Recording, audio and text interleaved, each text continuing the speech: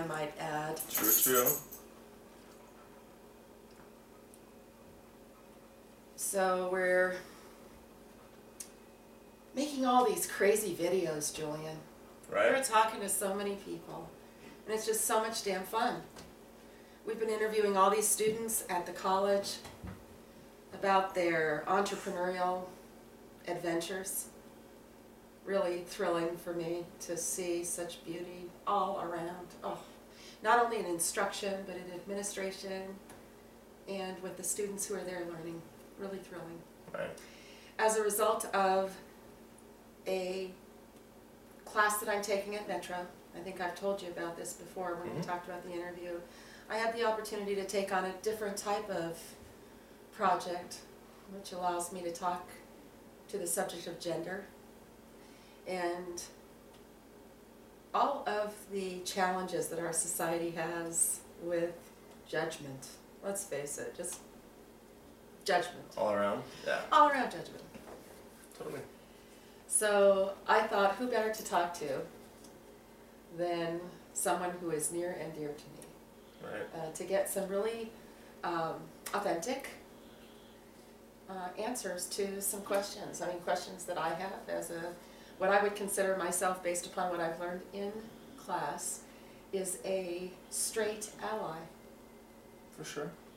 And I like that term very much, you know, to be aligned and allied with people who that we love, regardless of gender, you know, sexuality, religion, race, creed, color, all of those types of things. Gotcha. So I thought that I would ask you today about your journey.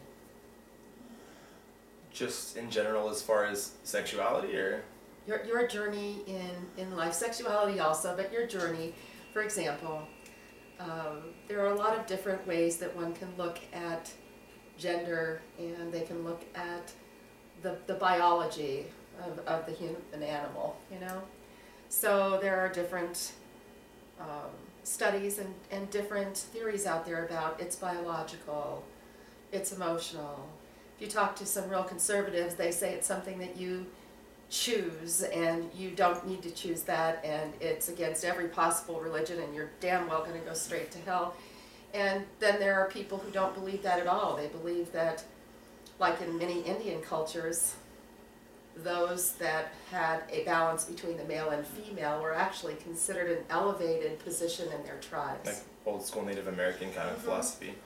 I think, you know, I definitely think, like you say, you know, my journey through life has been, you know, I definitely was, definitely think you know at a young age, you know, what your sexual preference is. I never had a problem gender wise, It's like, you know, getting along more one way with like female or male. I had friends equally on both sides, you know what I mean? And I never think I was too judgmental as far as, uh, like I was never a real clicky person as far as I only got along with like one group of people because I got along with everybody from like the jocks to like punk kids to gay kids to artsy kids and I kind of always liked kind of having a piece of everybody because I didn't like to just be with one group of people because I found that to be kind of boring. When you only have like one kind of friends or you're only friends with guys or only with girls, you're kind of like cutting yourself short. You know what I mean? Wow. In life. So I feel like if you kind of get a little bit of everything, which is kind of you know me, kind of spread myself too thin sometimes. I kind of have. I think it's a little more fun that way too. So um, yeah, and as far as you know, gender maybe battles growing up or sexuality barriers. I mean, I think maybe the toughest time you experience might be in middle school or when you're kind of in those formative years where you're kind of going through puberty and kind of figuring out who you are, and maybe you don't know that you're gay necessarily, especially as a guy, because you kind of find yourself a little bit later than I think a lot of girls do, but you go through that kind of like you you you like girls. I had tons of girlfriends, as you know, growing up. But maybe Tons know that you also kind of are attracted to your guy friends, or maybe do stuff with your guy friends growing up, and you're like, okay, this is like normal, but I'm dating a girl, and so you kind of I kind of found myself pretty early in life. I think I came out when I was a senior, so I was 15 or 16 years old, and luckily, obviously, you're my mom, and you know the boys are really cool. And coming from such a big family, I was lucky that I had such an open family, and so it wasn't. For me, I didn't come out right away when I knew. I was kind of waiting for the right moment, and then it kind of just happened on my birthday that year at the movie theater when Christian asked me what I say when people ask me if I'm gay or bi you know clubs that have both people there, and then I kind of just popped it out. So, but I mean, that was kind of the most difficult thing was just kind of like getting it out there and just telling you guys. But once it was out there, it was kind of like you know, the, all the boys were cool, you were cool, and I've never felt uncomfortable bringing a boy home or, you know, I don't. Whenever I've had since I've been dating guys, which is almost twelve years now, I've never had to hide who I was around you. It's never been a a weird thing for me. You know what I mean? And I think it's been that way likewise with both my brothers who are also we're, we're both straight, but who are also commonly thought of as gay sometimes or confused as gay because they had an older brother that was gay, so they're very well put together. so yeah, I definitely don't think my struggle has been what a lot of my friends or what a lot of people I've heard stories from in the gay community working at gay bars. I mean, some of them don't even talk to their families, or they've had the hardest times just because they haven't had such a cool and supportive family. Like I was very fortunate to have. So. Well, what happens uh, to people who have that type of frustration? I mean, in class, we've talked about young people actually being so ostracized that they're not even welcome in their own homes. What what do you do if you think, based upon your experience with all of these people, what have people done to solve that problem of okay, I've come out, I'm I'm saying that I'm going to take this direction in life and like it or not, this is who I am, and they're met with such hostility and resentment. What what do people do? Well, I think it's different for everybody, but I mean, it's it's definitely different for people that, like you said, are ostracized or have a hard time coming out. For me, like when I came out, it wasn't like a big change. I mean, I think we all go through when you first come out, you kind of feel that sense of like, oh, I finally found. th- I finally, oh my gosh, this is who I am. You know what I mean? Like I can be comfortable and like date who I want. You get that kind of feeling. You kind of, you know, joke around. It's like you know when you first come out, everyone's super gay, like super gay, quote unquote. The first couple years you come out because you just go off the deep end because you're just so excited to be out and like be with the gays and like have all these other people that are kind of the same way you are and not have to feel like in that kind of like you're the outcast maybe. But for me, I feel like being gay was never who I was and didn't define me. It was who I was attracted to or who I was sleeping with. You know what I mean? That doesn't define you as a person. Like just like if you're straight, just because you are a straight guy that's having sex with a woman, that's not all you are. You have all these other characteristics. Like maybe you like sports, maybe you like art, maybe you like movies. Like that defines you as a person, or all your whatever you like to do. Um, as a whole, or religion, or I mean, just you know, whatever the case may be. And I think a lot of people that I definitely have friends that to this day, I mean, my most recent love of my life, you know, life, whatever. He just recently came out to his family with me more recently, and that was you know later in life, whereas I came out younger. So everyone has their own different journey, and I think everyone's families look at things differently. But like different people find more of a sense of family and community, and maybe that's why there's so much more of that sense of being gay is who they are and why they are more involved in like you know.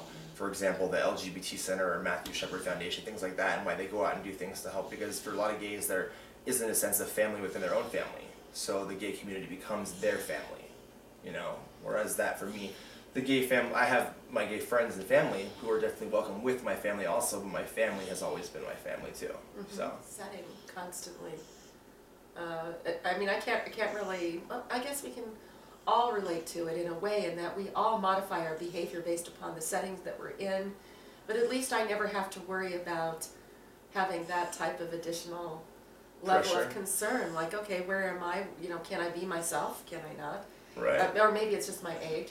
Because at this point, it's kind of like, well, I, I'm going to be myself, whether or not most people like it or not. I just, I just am going to have to just be myself and be See, authentic. I think I've been that since I was about 15 years old, so Yes, I've I never know, really, I know.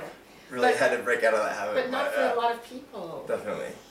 You know, a lot of people have a very, very tough time with it. So the kind of pressure, especially on young people, and bullying. So if you, if you were to give, I don't know, a recommendation to young people who are feeling like they are being bullied, and maybe they don't have the support at home, Right. what what types of things would you tell a young person? Well, maybe I think I would have to say, even coming from a good home, like a very supportive family background. I mean, bullying is bullying regardless, and you don't go home. I mean, I was bullied a little bit as a kid for maybe a good three years there. It was just a struggle.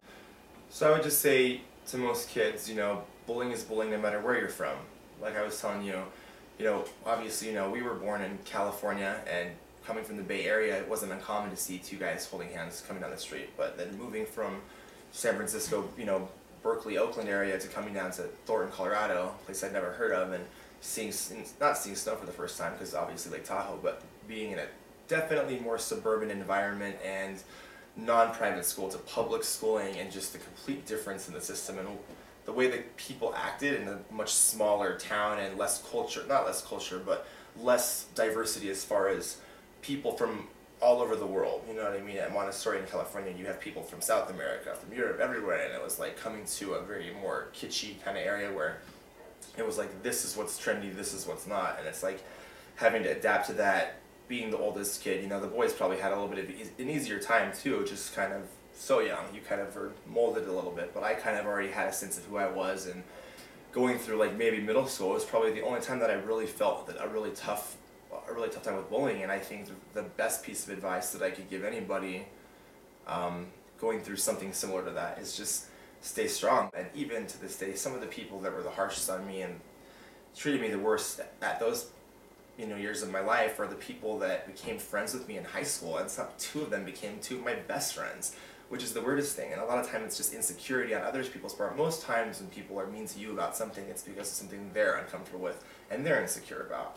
Shit half the guys i know that were insecure about gays are gay themselves now you know what i mean? So it's kind of funny to see how people change you know? But um, i would say just stay strong because you know i got through those years and then high school just kind of focused on being me and just definitely stuck true to my guts as to who i knew as to who i knew how to be who i was. And you know by junior senior year i think i was just like completely fulfilled and i you know grew up into the man i was and had opportunity knocking at my doors doorstep in many different areas to the point where i had all those people that were kind of rude to me when i was younger wanting to be my best friend and surrounded by beautiful people and just amazing everything by the time i was like 16 so just get through those years. I mean half of that is just being emotional because you're going through so much at that age yourself. You know what I mean? So Right.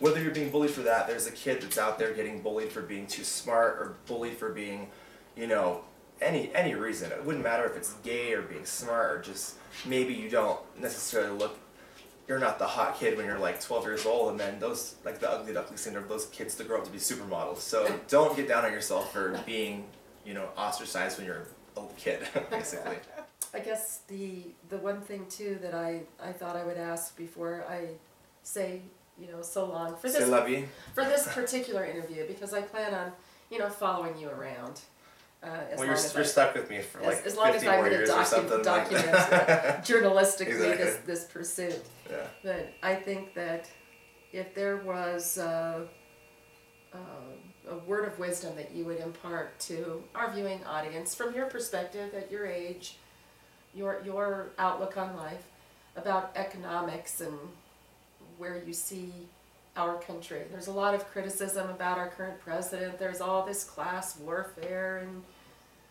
Right. social structures that are being uh, challenged. But how does a person of your age look at the challenges that our country faces ahead in terms of economics? I don't know. You know, I've been um, I've been very fortunate. I've been able to. I really never had to worry. I'd say on a day to day basis about much growing up, and then I went from having everything kind of not just handed to me, but I was definitely had a lot of support and help financially and otherwise. I've never had a hard time making money, and I think that a lot of people focus on the negative of this current situation, and a lot of people do blame Obama, but a lot of people also fail to admit or you know take into account that he did bring us back from such a horrible situation before.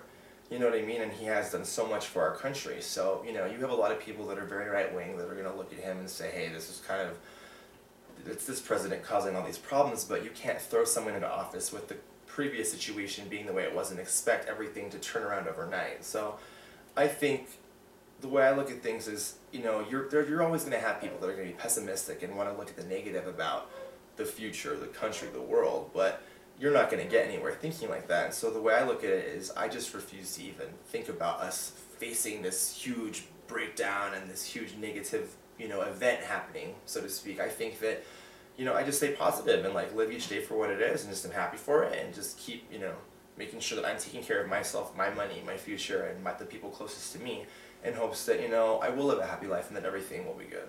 You know right, what I mean?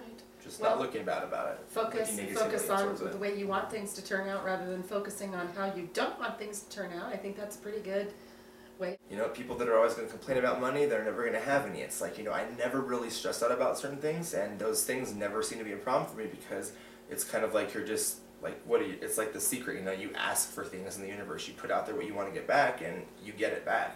It's common sense, and that's kind of how I feel like my life for the most part works out. It's when I get really down in the dumps in, in my life, those periods of time, like we all do, where things continue to go bad. You have to pull yourself out of that yourself, and it's not going to take you blaming a president or blaming someone else. You have to kind of take charge of your own life and make that happen for you. That is so, very true. that's what That I is would very say. true. I, I totally agree. Well, thanks so much for stopping by today. for sure. I, I love Should we should we shake hands now or how? I love to have the time to spend and chat, and I'll let you know when our when our video footage Cool. is ready to go live. Definitely do. man. all right, Right. all right.